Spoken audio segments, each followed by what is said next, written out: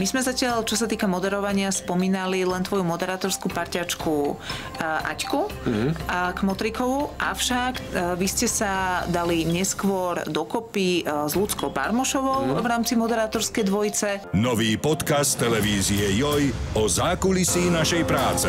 TV Joj Newsroom. Vo všetkých podcastových aplikáciách.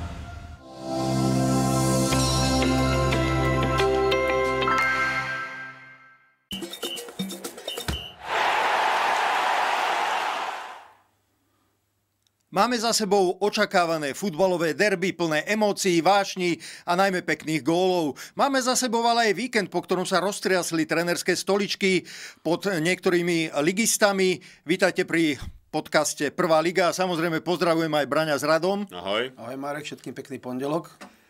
Máme za sebou prvú polovicu základnej časti, samozrejme ešte dohrávka Michalovce Slovan e, nás čaká, ale v podstate väčšina mužstiev má za sebou tú polovicu základnej časti. A keď sa pozrieme do tabulky, tak za mňa je to presne taká súťaž, akú som očakával, akú som e, si predstavoval, že to bude dráma, že to bude vyrovnané.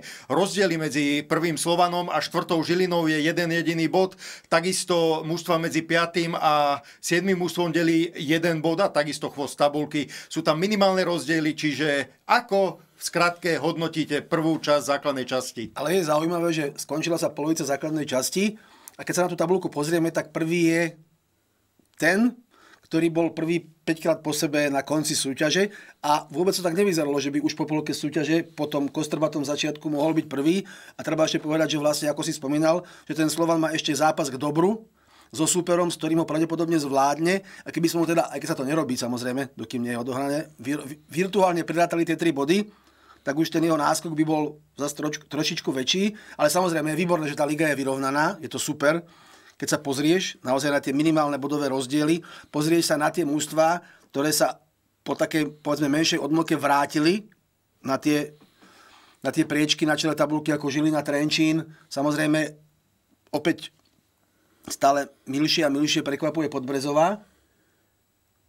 A je to výborné. Je to výborné z tohto pohľadu, že naozaj máme takto vyrovnané čelo našej ligy. Na druhej strane máme dvoch nešťastníkov na konci toho ligového pelotónu, ktorí hrali teraz spolu v tomto ligovom kole a aspoň jeden z nich si mohol trojbodovým ziskom pomôcť a získať prvé víťazstvo v sezóne vôbec, v 11. kole. No ale ako to už chodí, v týchto prípadoch e, každý získal po bode.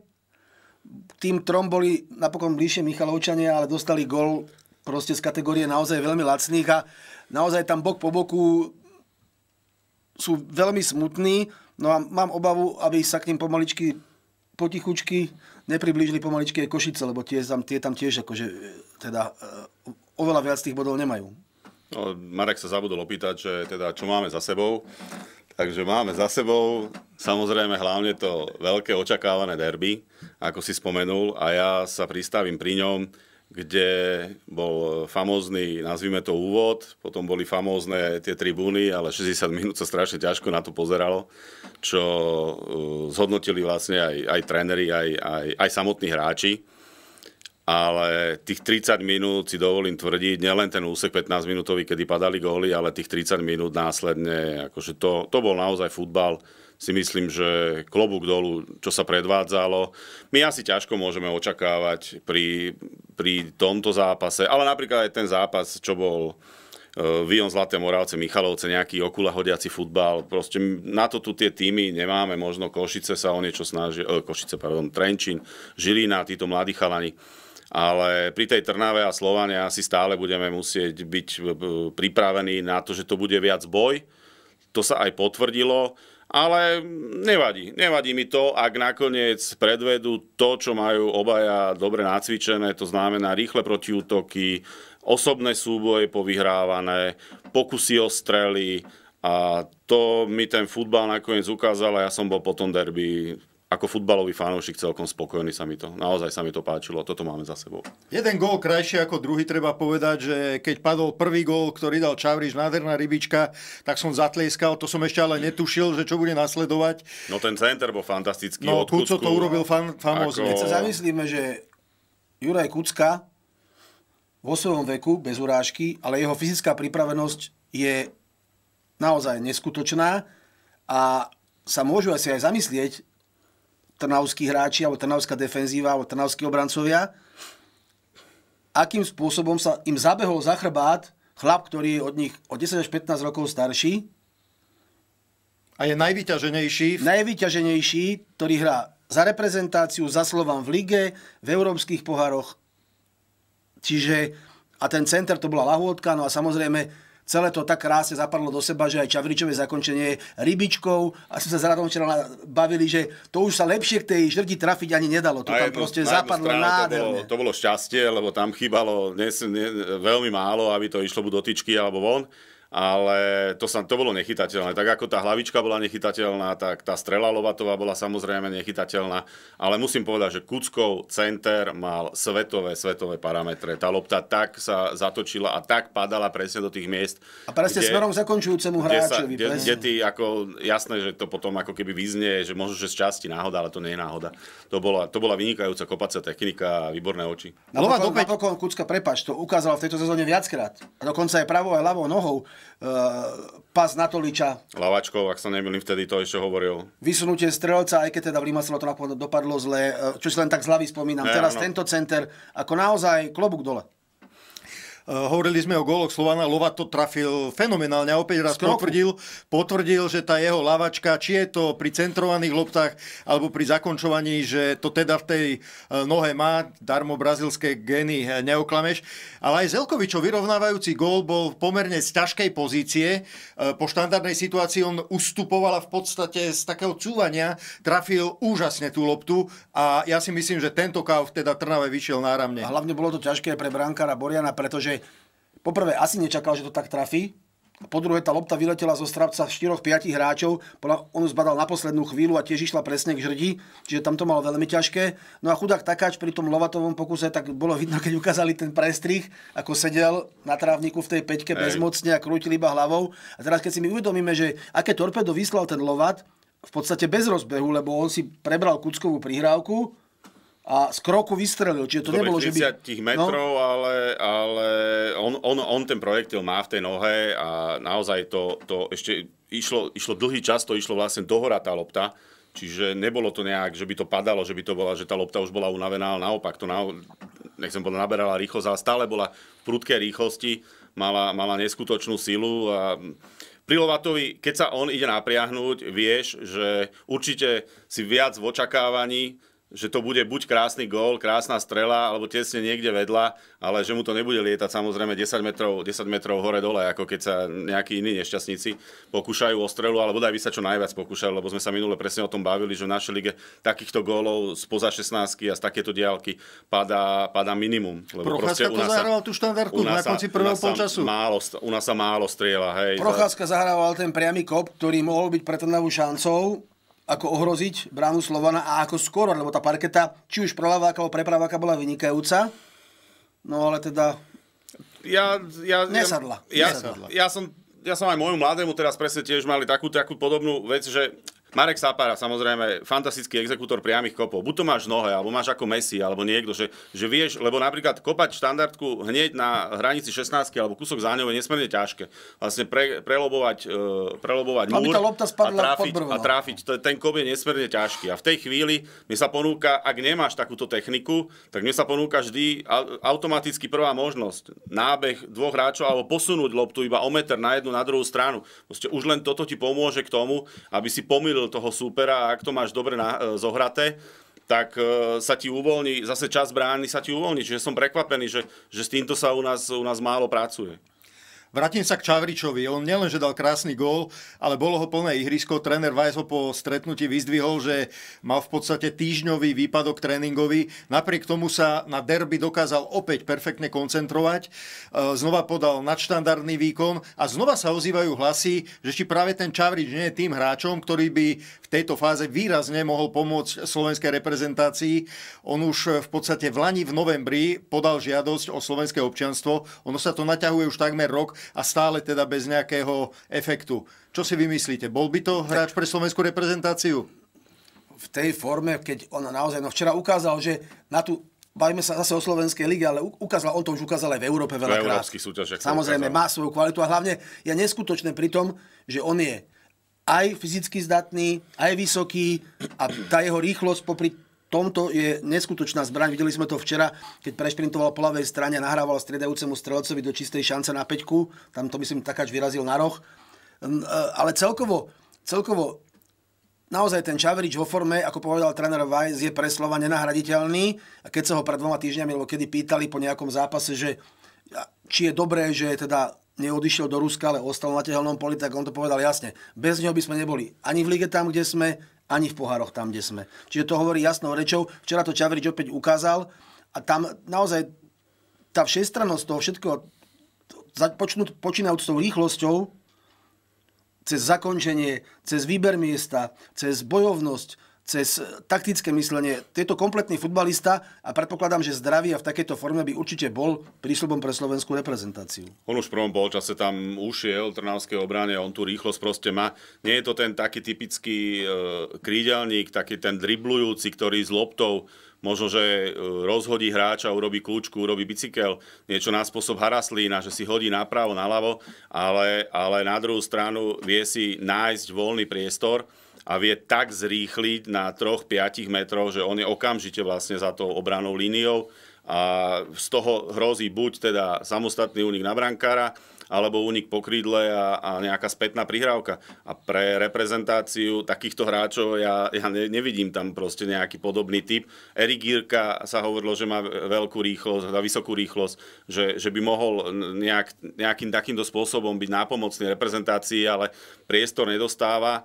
Ale videl som ho samozrejme, je to tiež zaujímavý hráč, ale tým, že sedí na lavičke v Plzni, tak asi tú kvalitu nenaberá takú a Čavrič ju bez pochyby má. Ja neviem, prečo sa to zaseklo s tou reprezentáciou, alebo teda s tým, s tým občianstvom, ale pre reprezentáciu by bol bez pochyby obrovským, obrovským prínosom momentálne. Nemáme takých hráčov na krídla, môžeme si namýšľať, môžeme si nahovárať, môžeme sa tváriť, že, že tam niekoho vychováme, ale my potrebujeme niekoho, kto je pripravený okamžite. A Čavrič e, momentálne ak sa potvrdí aj informácia, ktorú vlastne hovoril tréner Weiss, že majú pre neho pripravenú novú 2,5 ročnú zmluvu a Čavrič vždy povedal s navýšením platu a Čavrič vždy povedal, že on zo Slovenska nechce odísť, že on je v Bratislave spokojný, tak e, to je ideálna kombinácia aj pre reprezentáciu, aj pre Slovan v tomto prípade. A pre Čavriča samozrejme. A pre Čavriča bez debaty. Keď si spomenul tú reprezentáciu, v sobotu sme sa s Radom bavili, lebo sme robili spolu a nás zaujal člen širšieho reprezentačného kádra, Lubomír Tupta, hrajúci za Liberec,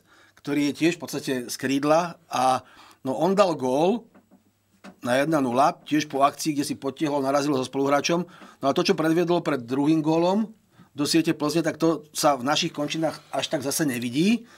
Po útočnej štandardke hostí z Plzne sa lopta odrazila za, na hranicu 16 Liberca, kde si ju prebral Tupta,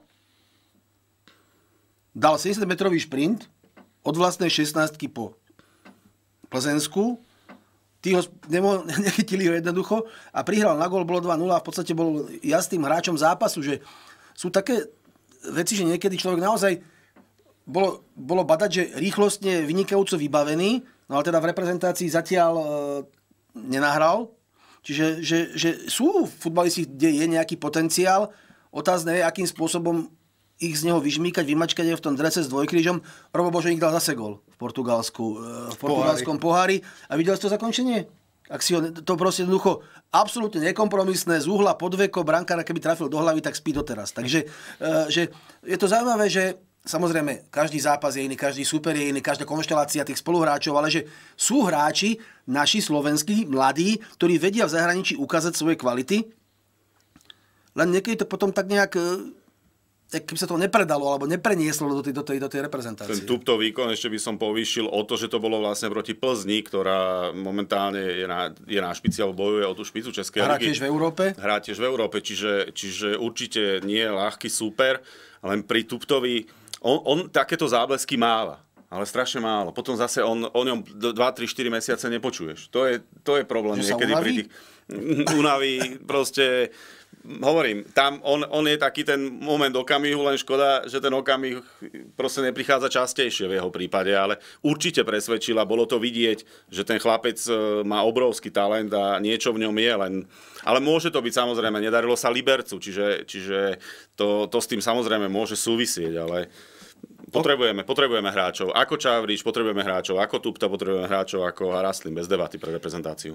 Počasie sa pres, presadil sa. aj Laco Almáši, skoroval aj Rusnák v mls to znamená, že to boli také príjemné správy zo sveta. No a potešil aj Leo Saver, mladý hráč Feyenoordu, ktorý asistoval pri štvrtom góle pri víťazstve 4-0. No a takisto Láslo Beneš pokračuje vo svojej fazóne, opäť si pripísal asistenciu a jeho Hamburg je už druhý v eh, druhej Bundeslige nemeckej.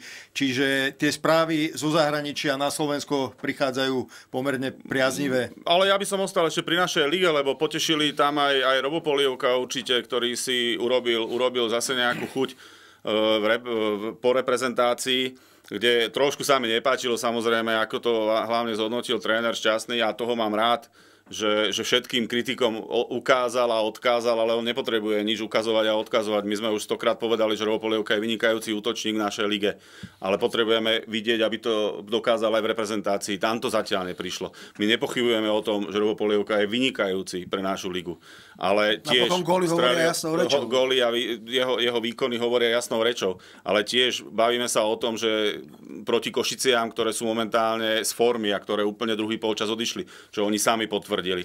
Ale, ale Uh, hovorím, nepotrebujeme my počúvať tiež takéto nejaké odkazy pre médiá, alebo pre vôbec všeobecne pre kritikov, že, že, že nám to všetkým natrela ukázal. Nech to, nech to opakuje, nech, sa, nech to potvrdzuje, my budeme iba všetci rádi na Slovensku a neviem, toto, toto si nemyslím, že, sa, že sem celkom patrí. A druhá vec je takisto David Juriš v Žiline. Prišiel po reprezentácii, strelil gól, Dva, dva, dva pardon, áno, dva. E, prihrával na gol a to, čo predviedol, to, čo predviedol, aj keď je to teraz poviem, že to bolo proti oslabenej Dunajskej, ktorá si to žiaľ zavinila sama a presne Káčer to vyhodnotil, že keby nehrali tak naivne, tak možno, že by prehrali síce, ale prehrať 1-5 to bolo, to bolo cez čiaru, lebo im dovolili prakticky robiť čokoľvek, ale my sme sa tu o tom bavili, ja som si to všimol iba pri tom jednom zábere, ale Braňo mi to potvrdil, pri tom vlastne Leitnerovom góle. Ďuriš tú svoju pohodu z reprezentácie a zo Žiliny dokázal aj fantastickou Rabonou, ktorá, ktorú si málo kto dovolí, urobiť v zápase ligovom, ale jemu tak neskutočne krásne vyšla e, ten center no, spoza, spoza, mm. spoza nohy, že klobúk dolu. Ako, toto sú také... Ako, mne sa páči, keď to niekto odpovie na to, dajme tomu, predvedie svoj výkon, ale je skromný a ticho. A toto, toto, toto Ďuriš jednoznačne potvrdzuje. Ja si myslím, že...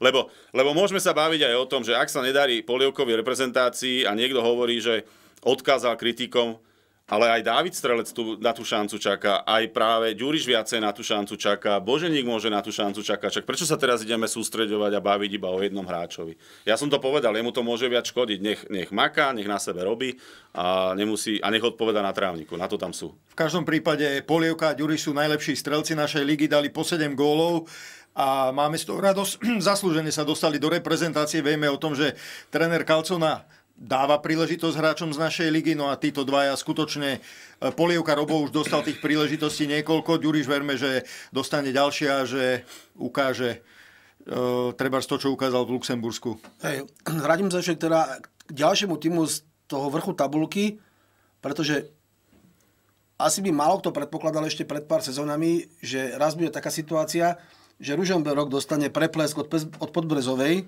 kde dostal naozaj za polčas štvorku, potom 5-0 a hráči Podbrezovej naozaj vedení trénerom Skúhravým, už som to viackrát hovoril, veľmi sympatický futbal. No a Kuzma to završil na tých 5-0 naozaj, dá sa povedať, že aj keď úplne iného súdka, ale môže konkurovať o gól Kola Lovatovi, ktorý dal bombu, ako sme spomínali. No a tu na Kuzma proste si natrel celú obranu aj s brankárom Ružemberka na chleba spôsobom, keď bol chrbtom k bráne, vedel, že točiť by už sa nemalo význam, lebo bol, za chrbtom mal presilu, no tak si loptu nachystal a udrel do nej Petov a Petičkou dal nádherný gól na 5-0. Podrezová rozbila Liptákov 5-0, čo je podľa mňa naozaj tiež výsledok, ktorý svedčí o, tom, o tej sile železiarov. Takže to ma tiež veľmi zaujalo. A vrátim sa aj k tým Košiciam. Je zaujímavé, že v akom musia byť naozaj srabe, keď v 11. minúte ty vyhrávaš 2-0, hm. dáš dva pekné góly, mal by si byť na koni, aj keď teda áno, vieš, že si predtým 5 zápasov prehral, ale chytíš sa s Banskou Bystricou, vedieš za 11 minút 2-0 a napokon z toho vidieš naozaj ako koreň, lebo prehráš 2-4 a ten gól polievku, kde povodil, hádam, 4-5, dva z nich prestali hrať, neviem kvôli čomu. Neviem, či sa signalizoval ruku, ruku alebo či navzájom Ale si... nebola, no, ale tak pokiaľ rozhodca ne, nepíska, tak čo tam? Takže tam v podstate z nich urobil štatistov a tie Košice zase z toho vyšli ako teda veľmi zle, čo tribúny na východe republiky ohodnotili skandovaním Šolty zvon, čím naražali na vyhodenie trénera ktorý to ale okomentoval lakonicky po skončení zápasu, že od toho je vedenie klubu, aby zhodnotilo jeho robotu a to teda nech, nechajú na vedenie klubu, oni nech láskovo pozbudzujú teda hráčov na ihrisku. No ale je to zaujímavé, že sme zle predikovali všetci, ako sme tu. Hmm. Sme čakali od tých košíc, že vnesú taký nový vietor do ligy ako Nováčik, lebo Nováčikom sa to v poslednom čase darilo.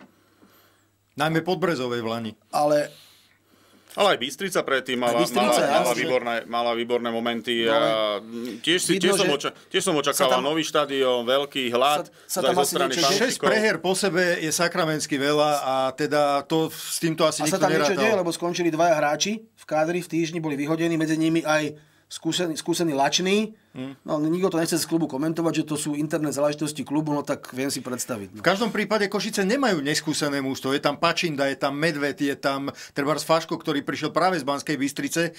Čiže tam skutočne sa tiež dá možno očakávať e, aj nejaká personálna zmena v realizačnom týme. Zažili sme to už v Michalovciach v tejto sezóne.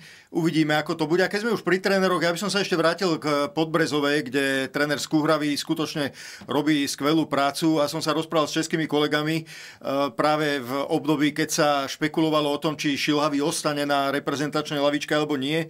A oni z fleku povedali dve mená. Trpišovský, Skúhravý. Bohužiaľ obidvaja sú teda v kluboch, takže neprichádzajú do úvahy ale je to podľa mňa veľké významenanie, že vôbec o ňom uvažujú tí českí novinári, že by mohol ísť e, do takejto vážnej pozície. To by bol asi príliš, príliš veľký, veľký skok. skok. Určite áno, ale že vôbec, ale že vôbec to niekomu napadne. Že ho, že, ho, že ho registrujú a že vedia, že má teda za sebou výborné výsledky a trošku na obranu toho Ružomberka, ja som teda videl iba ten zostrih tých gólov, ale tie prvé dva padli naozaj tak poodrážané, lopty boli rôzne, ale najlepšie na to zareagovali, zareagovali v oboch prípadoch hráči Podbrezovej, čiže to je zase ich, ich výhoda, ich pohoda, ktorú momentálne majú, lebo Ružomberok nedostáva toľko to gólov zase, si povedzme.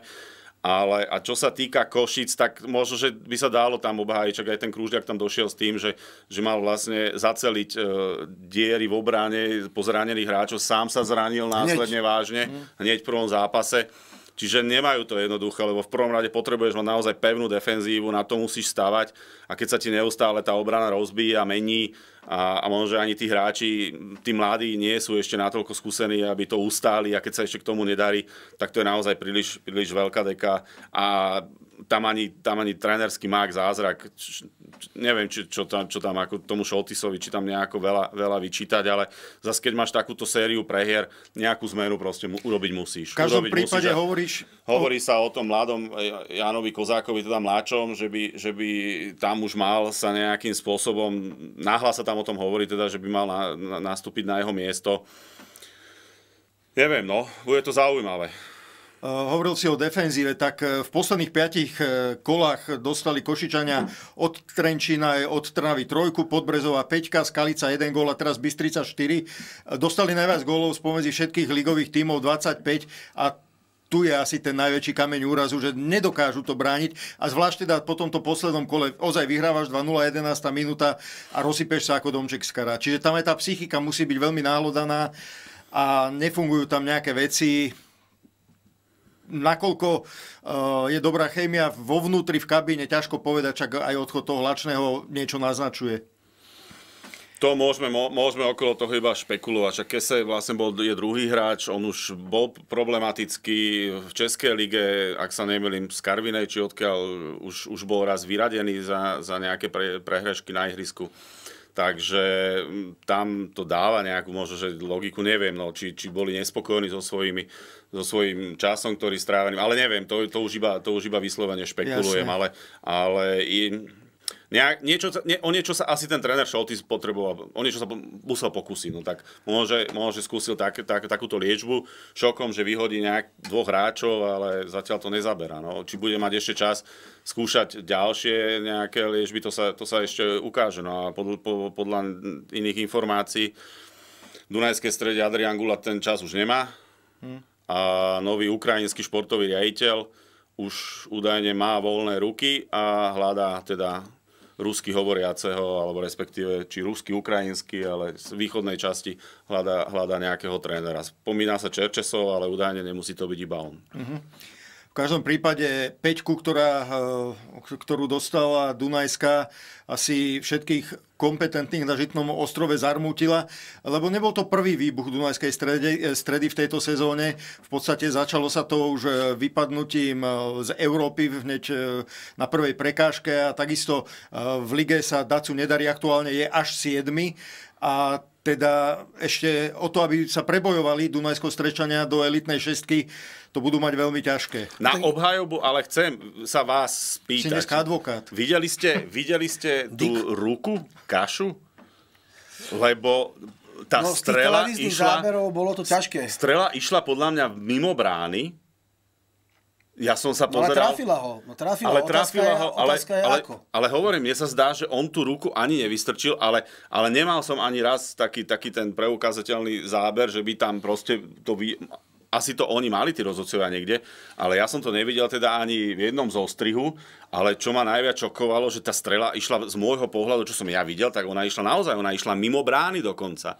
Čiže to, to, to mi prišlo trošku také, také no zvláštne, ale, ale není to kritika rozhodcu, lebo nevidel som tie zábery všetky. Ale čo si vy o tom myslíte? Lebo mne, sa to, mne to z tých záberov, ktoré som ja videl, videl neprišlo som, ako 11. Tiež som videl iba tie, ktoré si videl ty a tiež som tam tú ruku hľadal. Že ka, ako presne, kde, som si to tak spomaloval, alebo čo a že kde presne ho trafila, ako mal tú ruku, ale že by som teda bol oveľa múdrejší, to nemôžem povedať. No. V každom prípade z toho, čo sa nám dostali zábery, sa to nejak jasne prečítať nedalo. Takže dôverujme rozhodcom, ale bez ohľadu na to, oni dokázali Dunajsko Strečania ešte na tú Jamborovú 11 odpovedať, vyrovnali a v podstate aj s desiatimi hráčmi sa dá hrať e, vyrovnaná partia minimálne, ale tiež v druhom polčase dostali teda ešte no. do, do prestávky uh, gól a potom už sa to s nimi viezlo. Takže... No to bola tá reakcia, ktorú, ktorú hovoril Káčer, že, že už takýchto zápasov odohrali niekoľko, ale nechápe, prečo sa vlastne tí spoluhráči alebo ten tým splašil a chcel hrať vyrovnanú partiu. Práve, že vyrovnanú partiu ty nemôžeš hrať, ty môžeš brániť a už a hlavne pro, proti takému superovi, ako je rozbehnutá Žilina, mladí chalani lietajú po ihrisku, kombinujú, ty to musíš zavrieť, stia, stiahnuť sa a Presne. veriť. A musíš, veriť. musíš najmä dobre brániť. A nemôžeš otvoriť ihrisko, lietať, lietať, snažiť sa strieľať góly, lebo to je samovražda. Akože to sa ti málo kedy niečo také podarí. V Nie je to vylúčené, že ten gól dáš, keď ti vyjde protiútok, samozrejme, ale v prvom rade, keď je o jedného menej, tak ty musíš proste sa sústrediť na defenzívu a ak ti niečo vyjde buď z protiútoku, alebo vybojuješ štandardku, štandardku. Však, a zo štandardky napokon dali na 1 po rohovom kope. Čiže, no... Neviem, neviem, no to tam bola asi, asi dosť výrazná nedisciplinovanosť mm. zo, strany, zo strany hráčov, ale... Čiže v podstate Dunajská streda má taký najväčší záblesk tejto sezóne akurát to, že zdolala doma Slovan. No. Mm. Poďme na chvíľku do zahraničia. O Barcelone sme v Lani hovorievali, že teda dokáže vyhrávať ťažké zápasy o gól a znova sa to potvrdilo s Bilbaom 1-0 a je neuveriteľné, ako oni ťahajú z klobúka tie mladé talenty. Uh, týždeň, dva týždne dozadu sme sa bavili o 16-ročnom Jamalovi, teraz tu máme na pretrase 17-ročného Gujua. Uh, Ako? bol minútu na ihrisku a ja, rozhodol ja, ja, 17, ja viem zopakovať 17-ročný. A dal gól. V 80. minúte bol nejakých 60 sekúnd na ihrisku a teda rozhodol o výhre Barcelony. A bola sila sledovať to? Bola sila sledovať to, že keď ho dal, čo sa dialo? Lebo boli prestry, samozrejme, ako sa tešili na ihrisku, potom na tribúnu, kde všetky opory zranené Barcelony sedeli a tlieskali od ušu a usmievali sa od ucha k uchu. Lavička bola vo vytržení. Naozaj nádherný debut, to ako z rozprávky. Hmm. A teda ten nábeh toho mladíka do tej šance, kde sa vyhol, naozaj sa vyhol perfektne tomu offsideu, potom zakončenie cez repre brankára Unaja Simona, trošku aj so šťastím, ale prešla. No a mohol sa tešiť z debutu ako z rozprávky, bolo to krásne. No. A samozrejme, fanúšikovia Barcelony si veľmi vydýchli, lebo neviem, či ste pozerali celý ten zápas, ale zachytala si veľmi videtne aj brankár Barcelony, takže tam to kľudne mohlo skončiť aj naopak, ten mm. zápas. V každom prípade Barcelona ukoristila ďalšie ťažké víťazstvo. V Nemecku mňa neprestáva prekvapovať Stuttgart, ktorý je v podstate v tabulke druhý a Girasi, útočník, ktorý dal v 8 zápasoch 14 gólov, tak to je nevydaná vec. Harry Kane prišiel do Bayernu Mníchova, darí sa mu, dal 9 gólov v 8 zápasoch, čo je fantastická bilancia, ale z veľkej diálky sa pozera práve na Girasiho, ten ich dal 14. Nakoniec si to môže byť, vieš čo, platné, keď sa stane Bayern majstrom Nemecka. 12 krát. že, ale, ale, ale, ale, dobre, však aspoň pol sezónu nechá ten Bayern hrať tých druhých no. a potom na záver, ako to bolo v minulej, minulej sezóne, keď ten Dortmund si mohol A keď ten si to prehral. To bolo, to bolo strašné vlasy, ale, ale, keď to tak vezmem akože nadsázkou, tak hovorím, oni si, Bayern si hrá v tej nemeckej lige väčšinou svoju vlastnú súťaž, takže nechá ho chvíľku sa vytešiť, po, pobaviť a potom si zase urobia to svoje a splnia si ďalšiu spovinnosť. Hovorili sme o vyrovnanosti našej ligy, takisto Bundesliga. A vlastne je tam Oktoberfest, nie? Ne, nemajú momentálne... Tak oni vieš, čo chceli? Oni chceli, Bayern chcel byť už na Oktoberfest majstrom, to im nevyšlo. v každom prípade sú tretí, Leverkusen 22, druhý Stuttgart 21 a potom 20 bodový Bayern a Dortmund. Čiže tam je to tiež vyrovnané, ale skutočne akože Bayern sa rozbieha. A rozbieha sa aj Harry Kane, ktorý sa, jeho presun z Tottenhamu do Mníchova sa ukazuje ako Uh, situácia win to win to win, to znamená Tottenham z toho profituje, Bayern z toho profituje, Kane z toho profituje, aspoň takto vnímam ja. Hey, ale keď sa pozrieš na ten uh, Tottenham teraz, tak či tomu Kaneovi aj nie je ľúto po tých všetkých rokoch, ktoré tam strávil a ktoré sa tam vytrápil, aby nezískal prakticky žiadnu významnú trofej tak uh, teraz ten Tottenham hrá ten futbal, sme sa o tom rozprávali, ktorý sa proste páči, je úspešný, má výsledky a že teraz by to práve mohlo prísť. No. Tak ale hovorím, trofej teraz bude mať zaručené s Bayernom. Ostaňme chvíľku teda ešte v Londýne, lebo Tottenham hrá teda veľmi fajn, ale hralo sa zaujímavé londýnske derby, Chelsea Arsenal. E, Chelsea to na ten Arsenal dlhodobo nejako nevie a teraz to mali rozohraté e, modrí úplne perfektne, vyhrávali 2-0, napokon len remíza 2-2. Bol to zápas plný aj pekných gólov, ale aj neuveriteľných kiksov na takejto úrovni. Uh, tréner Arteta je momentálne aj kritizovaný na, za to, že vlastne Ramsdale posadil na lavičku a zohnal bránkára, ktorého prakticky ani nepotreboval. Uh, a keď si to vezmeš, Onanu zavolali do Manchester United, lebo hrá lepšie nohou. Proste je to momentálny trend, chcú tak všetci hrať. Guardiola to tam uh, svojím spôsobom viac zaviedol s tým Manchesterom City ale o to viacej kiksov, o to viacej kiksov e, vidíš, som to robil takisto aj v Liverpoole. Liverpool na to tiež viackrát oplatil tieto veľké kluby. A teraz sme to mali možnosť vidieť aj, aj v tomto derby, hovorím Onanu už pomaly, keď to tak preženiem, tak chceli vyštvať e, z Old Traffordu fanúšikovia. Uh, nie, neviem, či to je celkom, či to je až takto tá správna cesta, až takto si pustiť tú loptu do tej peťky, a, lebo potom áno, prichádzajú tieto chyby pri týchto rozohrávkach, a toto londýnske derby sa tým vlastne vyznačovalo na jednej strane. No zlomilo toto, o, ono zlomilo to ten úspech Chelsea, ona by asi vyhrala tá Chelsea. Palmer mal tú šancu, 70 minút Palmer mal tú šancu on, on, to nevyužil po tej chybe, Áno. ale Rice to využil z prvej fantasticky, aj keď mal som pocit, že tam tí hráči Chelsea úplne prestali hrať a vrátane Brankara, že on ešte, on ešte sa mal možnosť podľa mňa presunúť, ale nejak... Aspoň to skúsiť. Aspoň to skúsiť. Už potom neskoro samozrejme, mm. už keď tá lopta letela, ale už musí vidieť, on keď vlastne dáva prihrávku, ja si myslím podvedome, už by mal začať robiť kroky proste. No lebo už musel vidieť, že to po, kazil. No áno, lebo tak videl, ako ju trafil a videl, do ktorého priestoru to ide. Akože sa nechal ten hráč e, Chelsea predskočiť, samozrejme nie je jeho chyba, ale hovorím, trošku, trošku som bol prekvapený, ako na to ten brankár zareagoval. A vlastne Arsenálu tým darovali, darovali gól, no a dostal sa na konia a podarilo sa mu vyrovnať. Už potom to, to prináša, tá, tá eufória je tam, je tam silná samozrejme. A Chelsea mi bolo aj ľúto, by som povedal. Hej, udalosťou víkendu v Anglicku bolo žiaľ úmrtie Sira Bobbyho Charltona.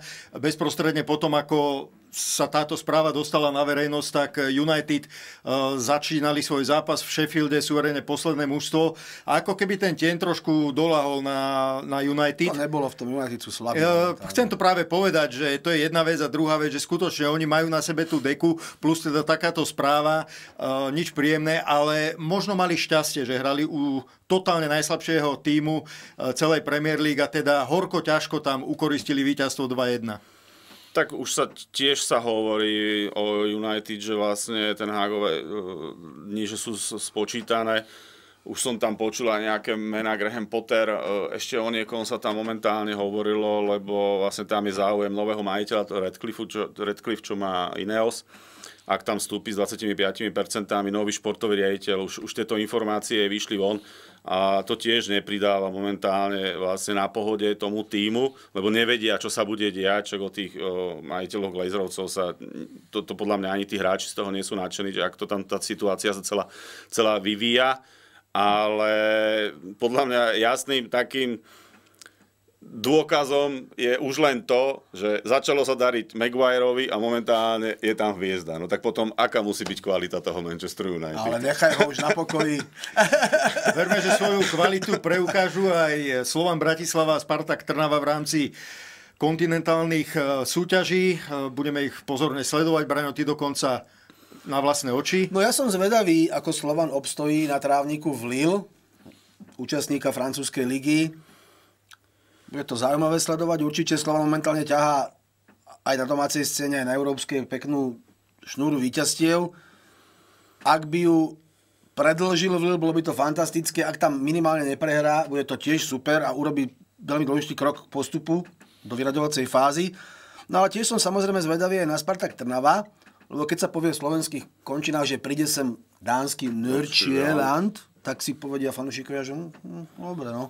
Lenže tento Nörčieland dal doma 12-násobnému bulharskému mm. majstrovi, ktorý 12 krát v rade vyhral bulharskú ligu a ktorý dal Trnave doma 4-0, tak tento Nörčieland dal tomu Razgradu doma 7-1.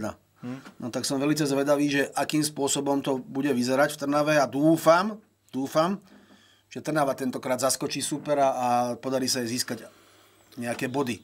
Ja som, ja som tiež optimista z dvoch dôvodov. Slovanu sa vonku hrá lepšie, potvrdil to aj na Bazilei, alebo proste celkovo sa, sa, sa tam lepšie prezentuje, lebo práve tým, že vie zavrieť to ihrisko a vyrážať do tých protiútokov, čo by mu v tom Lille mohlo sedieť. A tiež som optimista aj smerom eh, k Trnave a Neršilandu, lebo oni si sami uvedomujú, že toto je ich asi najväčšia šanca nejakým bodom sa dostať a určite si to zaslúžia. A verím, trošku som bol sklamaný, že teraz nebolo vypredané na, to, na, to, na toto derby so Slovanom, ale verím, že, že tí fanúšikovia podporia Trnavu a, a spoločne, spoločne to dajú a, a, a vyhrajú. Takto o týždeň sa podrobnejšie porozprávame nielen o Trnave a oslovania, ale samozrejme o všetkých futbalových zaujímavostiach. Chalani, ďakujem. Neviem sa dočkať. ďakujem. A máme to za sebou. Pekný deň. Pekný deň. Majte sa pekne, všetko dobré.